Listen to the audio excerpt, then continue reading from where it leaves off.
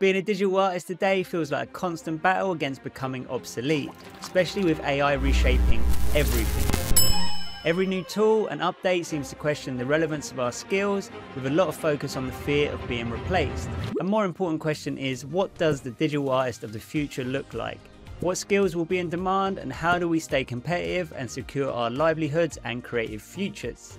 We can already summon anything we like in seconds in both 2D and now even 3D. And it won't be long before we have tools like this in 3D applications. While most of the outputs from these tools are of decent quality, they still lack the control we need, and this paired with copyright issues mean we are still a little way away from being able to go from start to finish. the truth is, if we continue to only rely on traditional techniques, we're going to be risking our place in the industry. So you can sit back and watch the world change, or you can get involved. So let me show you how you can use AI as additive and hopefully change that AI anxiety into excitement with a step-by-step -step tutorial on how you can use it for your own projects. It wasn't long ago that a project would land on my desk and I'd start modelling everything from scratch. And now we can tap into vast model libraries. I'd create textures from photos and now we have texture libraries and material presets. Lighting techniques have evolved with easy to access IES profiles and HDR images. Rendering has progressed from scanline to ray tracing. Even post-production has now been integrated into the frame buffer.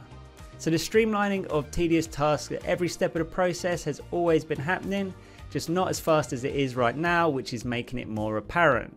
So these are all the shifts we've witnessed, so what's next? In past videos, we've looked at how AI image upscaling can effortlessly add a level of detail to an image in minutes that would normally take hours. By using frame interpolation and video upscaling, you can render one tenth of the frames traditionally required for an animation. And now there are other tools for post-production. Generative Fill is a dream come true, but we've also been exploring sky replacement and AI enhancers for changing times, locations and moods of images. And notice that all of these tools are to enhance rather than replace, much like the progress we've already seen through in 3D. So this all sounds great, but it's not just about the tools, it's about how we use them. Most generative AI tools face heavy criticism for using other people's data without their consent. Adobe are working on a project called Content Credentials, which is a new kind of metadata that enables creators to add extra information about themselves directly to their content and enhance transparency for their audience. Over time, if a piece of content undergoes different stages of editing or processing, it can also accumulate multiple content credentials, which is definitely a step in the right direction. I think one of the issues that torment digital artists is trying to balance between being an artist versus being a service provider of something that people will pay for. DeepMind founder Mustafa Suleyman said in The Coming Wave, once an innovation delivers a competitive advantage like this, everyone must either adapt to it, leapfrog it, switch focus, or lose market share and eventually go bust. To earn a living, you need to provide something of value. So it's not a question of how we can just keep doing the same job. The days of photorealism being the unique selling point are fading. So the question is, how can the future digital artists offer something more useful and valuable than they currently offer to the people they serve? Could it be animation, showing the subject in different weather conditions, times of day? Maybe it's how it will look in 10, 20 or 50 years time. VR with tools like Enviz is a very convenient option, but now I want to show you one such way in action. So if you've been following the channel for a while, you're going to remember this image that we created back in 2021.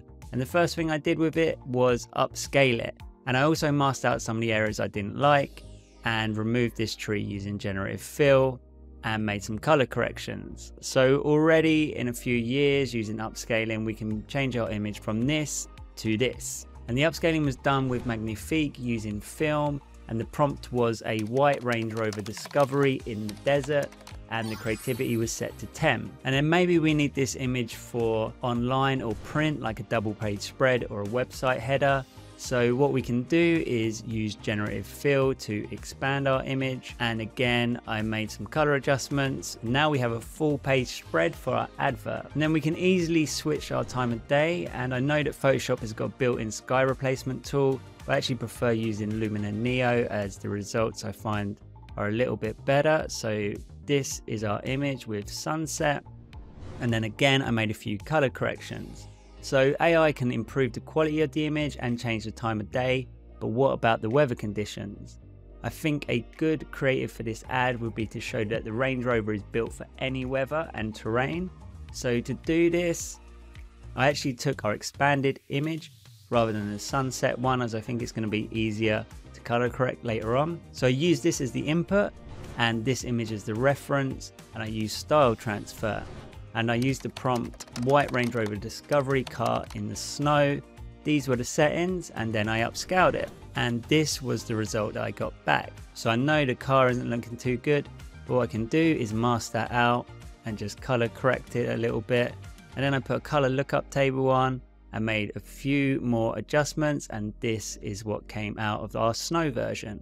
You can see that I managed to mask in some of the tires as well to make the car fit better within the image. So then I tried a few others out. This again was our input image and this was our reference image and this is the result we got out. So I masked our car back in, made some color corrections and this time I worked on the reflections a bit and the windows and put a color lookup table and did a few more color adjustments. So this was our spring or field version. And the next one was super fun. This one I wanted rain. So this was again the input image and this is what we got out. So I masked back in our car and these were some of the adjustments we did. Um, I even put some rain over the top of the car and this was our final result. And the next one, this one was a little harder. So I used this image as the reference and this is what we got back. And then I masked in our car and did some color adjustments and this is what we got. As you can see, we went from this image from 2021, we managed to expand it, we changed it to sunset, and then we moved it into a snow scene.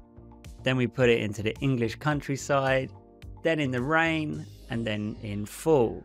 So this is a way that we can add an extra layer of our deliverables for our clients and it's pretty simple. So if you want a more detailed tutorial of every step how I did this, let me know in the comments. As always, AI springs healthy debate, so let's have that nicely in the comments.